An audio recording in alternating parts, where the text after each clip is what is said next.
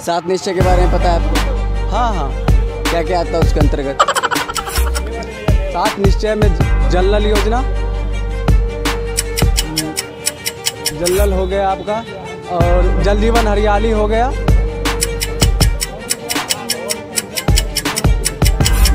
और और कुछ?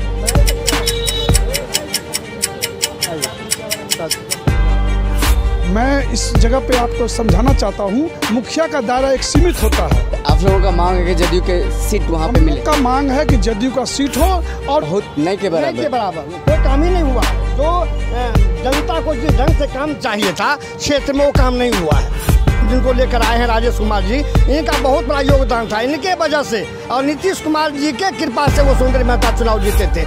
और वहाँ जनता दल बहुत ज़्यादा संगठन वहाँ मज़बूत है।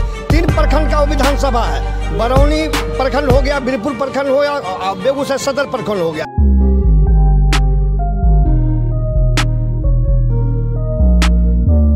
नमस्कार, आप देख रहे हैं भारत लाइव। मैं हूँ आपके साथ विशाल यादव। बिहार में चुनावी समर की शुरुआत हो चुकी है। जैसा कि आप जानते हैं कि चुनाव आयोग ने पिछले दिनों चुनाव को लेकर के घोषणा कर दिया था, उसके बाद से सारी पार्टियाँ अपने अपने तरफ़ से तैयारी करने में जुट गई है। मैं आपको रोज़ की खबरें बता रहा हूँ, रोज़ आपको राजनीतिक समीकरण बता रहा हूँ।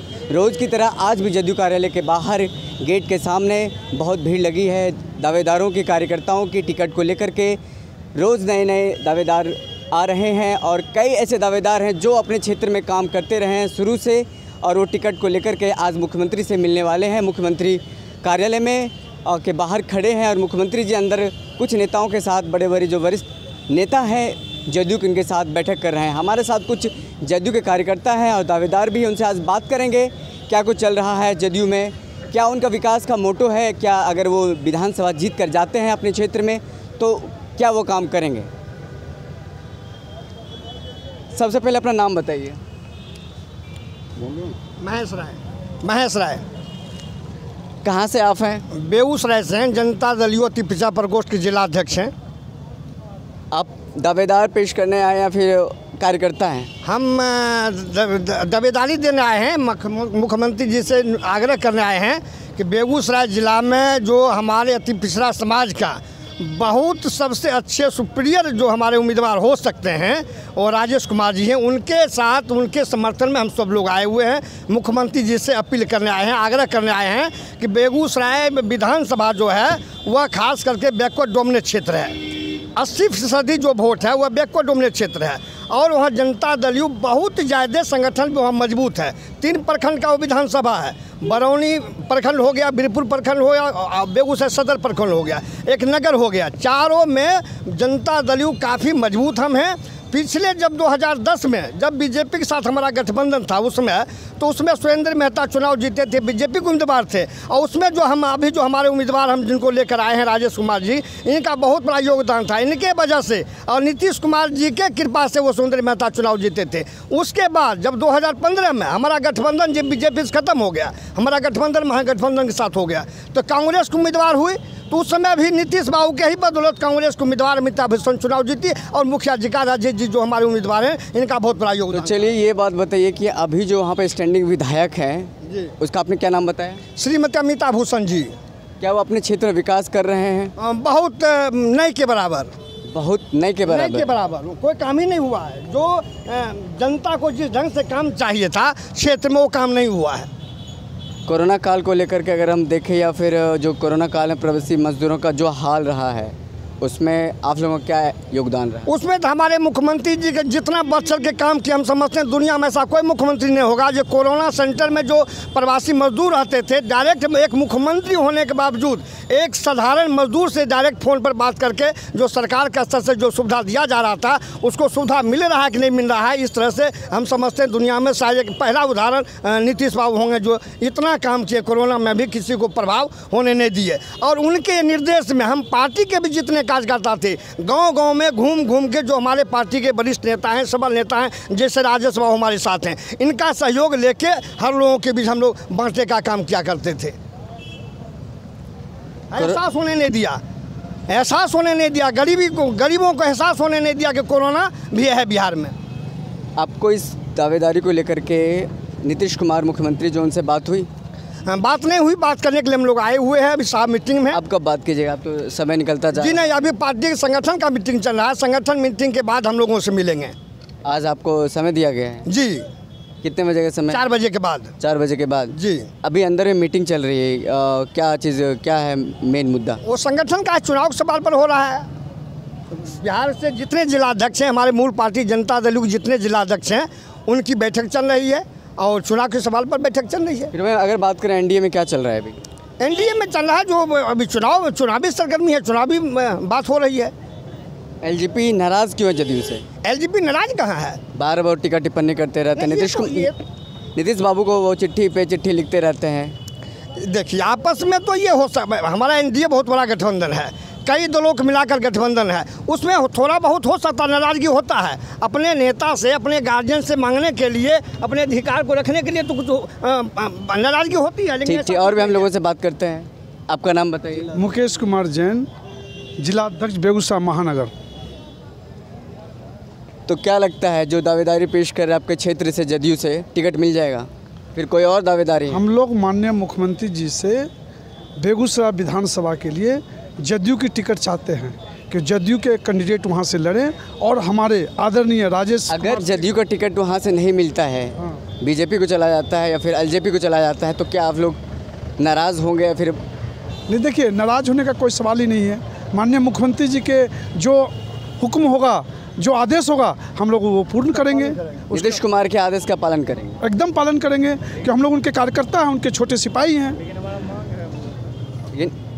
आप लोगों का मांग है कि जदयू के सीट वहाँ पे मिले। का मांग है कि जदयू का सीट हो और उसमें भी अति पिछड़ा से राजेश कुमार सिंह मुखिया जी को टिकट मिले क्योंकि ये 10 साल में मुखियागिरी में वो काम किए हैं जो एक विधायक वहाँ काम नहीं किए हैं।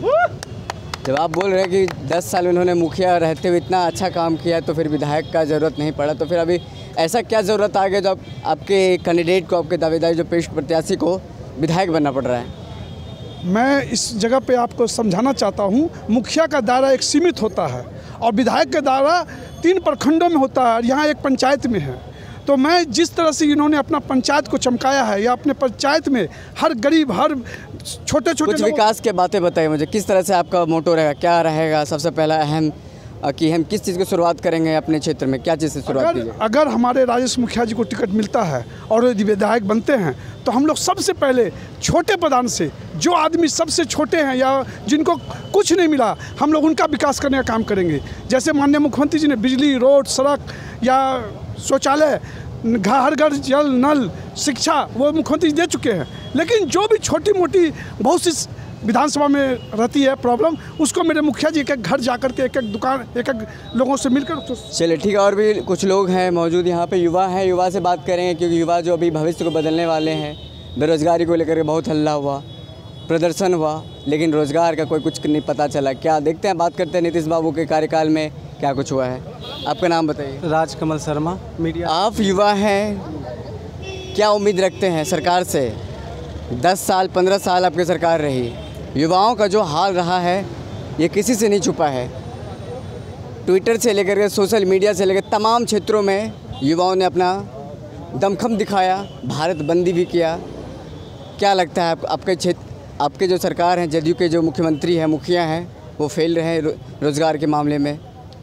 देखिए हमारे माननीय मुख्यमंत्री जी ने रोज़गार के लिए सरकारी सरकारी देखिए बिहार पुलिस और टीचर ढेर सारा वैकेंसी निकाले हैं। रही प्राइवेट की बात यहाँ रोज़गार लाने की बात हमारे माननीय मुख्यमंत्री जी ने पूरा खाका तैयार कर लिए हैं। जब सड़क एक मिनट अब एक मिनट तो खाका आप तैयार करने की बात कर रहे हैं। होगा। अभी आप खाका तैयार करने की बात कर रहे हैं पंद्रह साल आपकी सरकार रही। खाका भी तैयार कर रहे हैं आप। नहीं नहीं सड़क बिजली पानी सड़क बिजली सड़क बिजली पानी की तो हम बात अभी नहीं कर रहे हैं। बाद में बात करेंगे बाद में बात करेंगे इस पर लेकिन पहले हम रोज़गार की बात कर लें। रोज़गार एक अहम मुद्दा है एक अहम इशू है। जो ज़मीनी कार्यकर्ता हैं वो झंडा ढोने का काम करते हैं।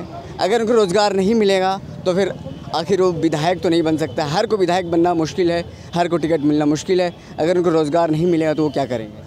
नहीं नहीं वो स्वराज स्वरोजगार देखिए अति पिछड़ा के लिए दस लाख उद्योग के लिए लगाने के लिए दे रहे हैं। स्टूडेंट क्या क्या क्या क्या? उद्योग के लिए अति पिछड़ा उद्यमी योजना के तहत दस लाख रुपया दिया जा रहा है। एस सी एस टी कितने लोगों को मिला है? कुछ आंकड़ा आपके पास है? नहीं वो जो भी अप्लाई किए सबको मिला। है सबको मिला है? मतलब उस उसमें जितना कोटा है उस हिसाब से हाँ फिर मिला है। कोटा हिसाब से जितना था उसमें मिला है। कोटा के हिसाब से मिला है? सात निश्चय के बारे में पता है आपको? हाँ हाँ। क्या क्या आता है उसके अंतर्गत? सात निश्चय में जल नल योजना। जल नल हो गया आपका, और जल जीवन हरियाली हो गया।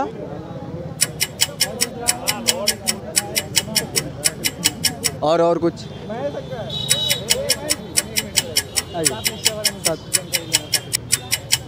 चलिए और कुछ लोगों से बात करते हैं। सात निश्चय के बारे में कुछ बताइए आप।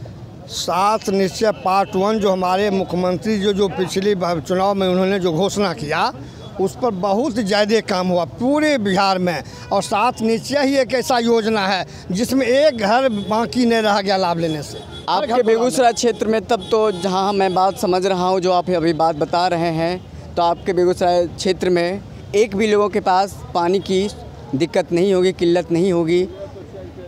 आप यही कह रहे हैं ना? हाँ योजना चल रहा है नल जल योजना चल रहा है। हम निकल रहे हैं कल से परसों तक में विधानसभा क्षेत्र कवर करने के लिए ग्राउंड रिपोर्ट जाने के लिए। तो आपके क्षेत्र में बेगूसराय में भी आएँगे? ज़रूर। तो जानेंगे कि क्या है वहाँ की हकीकत। कोई लाग लपेट नहीं जो जनता बताएगा वही जनता देखेगा वही जनता जानेगा।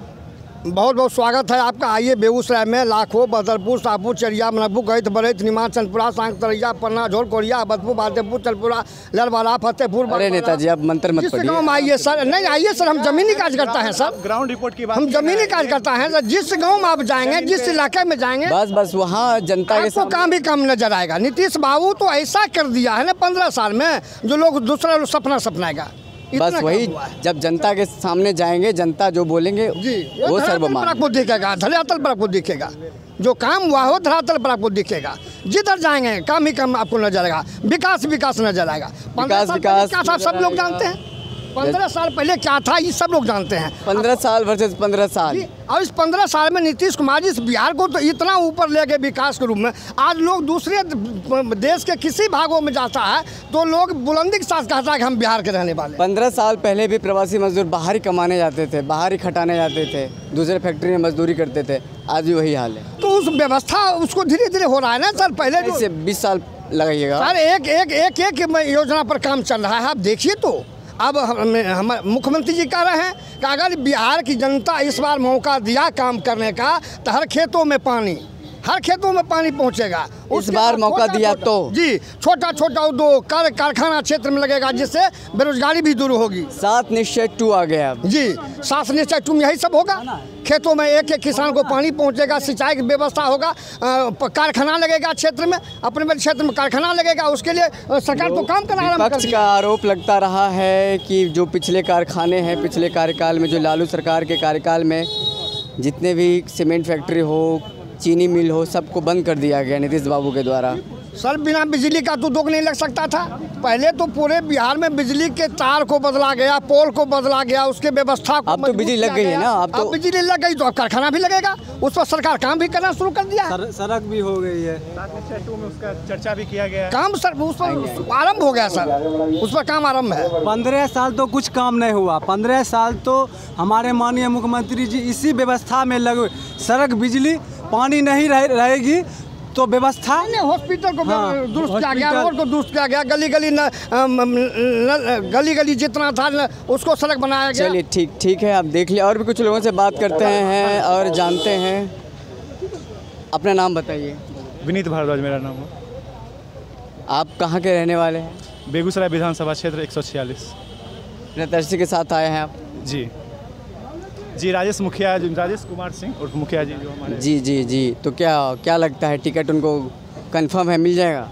देखिए सर देख देना तो चाहिए क्योंकि जिस तरह से हम लोग का मतलब जिला का काम किए हैं हम लोग को मतलब विधानसभा क्षेत्र में अपना छाप छोड़े हैं तो हम लोग तो मतलब ये चाहते हैं कि उन्हीं को दिया जाए क्योंकि उनके अलावा तो जदयू में हम लोग को और कोई नहीं दिख रहे हैं कि उस तरह का ज़मीनी स्तर पे और गरीबों का एक मसीहा बन के काम किए हों क्योंकि आप ही आप ही को पता जिंदाबाद राजेश भैया जिंदाबाद। अभी आपको पता ही है कि हाल ही में कोरोना और लॉकडाउन को लेकर कितना महामारी फैला है। तो बस इसी को लेकर हम लोग मांग करने आए हैं। मांग करना हम लोग का काम है और फैसला करना तो उनका काम है। हम लोग बीजेपी को टिकट चला गया फिर? बीजेपी को जाए या जदयू को रहे लेकिन अति पिछड़ा का मांग है हम लोग का शुरू से ही वो हमेशा रहेगा। अगर अति पिछड़ा को नहीं दिया जाता है तो फिर हम लोगों का मन में थोड़ा सा मतलब इनके प्रति थोड़ा सा हो सकता है कि आ जाए, लेकिन, क्योंकि अति पिछड़ा का हम लोगों को शुरू से ही अति किया गया है तो जिला में तो हम लोग चाहते हैं कि अति पिछड़ा को ही मिले। चलिए बहुत बहुत धन्यवाद। जैसे कि आपने देखा कि अभी जदयू कार्यालय के सामने मैं खड़ा हूँ, अंदर मुख्यमंत्री, ये सभी वरिष्ठ नेताओं के साथ संगठन को लेकर के बातचीत कर रहे हैं, मीटिंग चल रही है, क्या कुछ क्या कुछ सामने आता है, मैं आपको पल पल की अपडेट बताता रहूँगा।